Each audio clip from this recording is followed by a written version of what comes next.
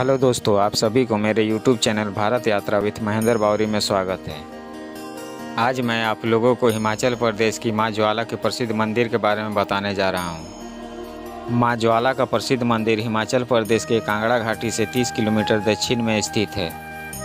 इस ज्वाला मंदिर को नगरकोट और ज्योता वाली माँ के मंदिर के नाम से भी जाना जाता है। यह माँ ज्वाला का मंदिर बाकी माताओं के मंदिर की तुलना से अलग एवं अनोखा है। ऐसा इसलिए क्योंकि यहाँ पर मंदिर में कोई भी मूर्ति स्थापित नहीं है। यहाँ किसी भी मूर्ति की पूजा नहीं की जाती है।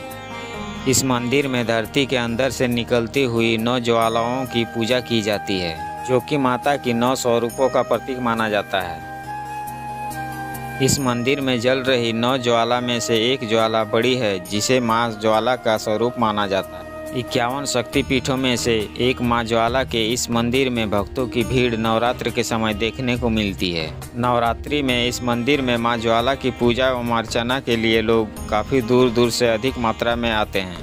अब हम आपको बताने वाले हैं ज्वाला को लेकर पौराणिक कथाओं के बारे में। साथ में ही बताने वाले हैं कि यहाँ कैसे पहुँचे।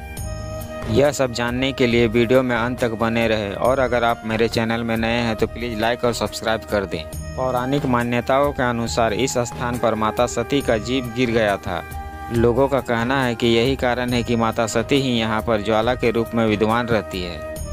यहाँ पर जल रही ज्वाला को लेकर एक और कहानी बताई जाती है। कहा जाता है कि गोरखनाथ माता के बड़े भक्त हुआ करते थे।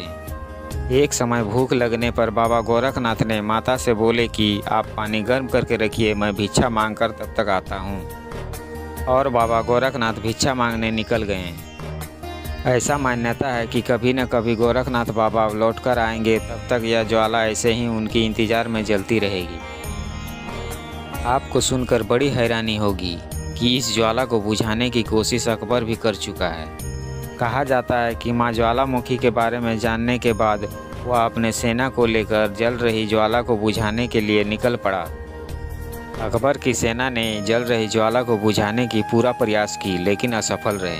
कहा जाता है कि माता के इस चमत्कार को देखकर अकबर भी नतमस्तक हो गया और माँ ज्वाला के इसमें सोने का छत्र चढ़ाने के उद्देश्य से अगले दिन पहुँचा। लेकिन माँ ने अकबर के सोने के इस छत्र को स्वीकार नहीं किया और वह छत्र नीचे गिरकर अन्य धातु का रूप ले लिया।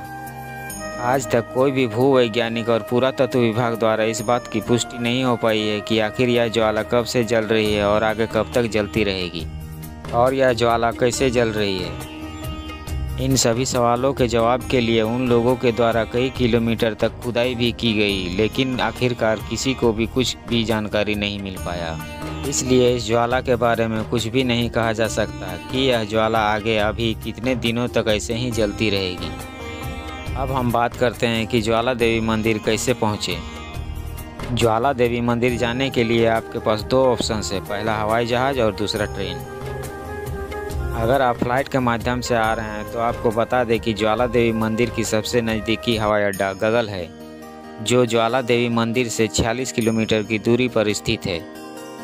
हवाई अड्डा पहुंचकर आप वहाँ से ज्वाला देवी मंदिर के लिए टैक्सी या कैब आसानी से ले सकते हैं।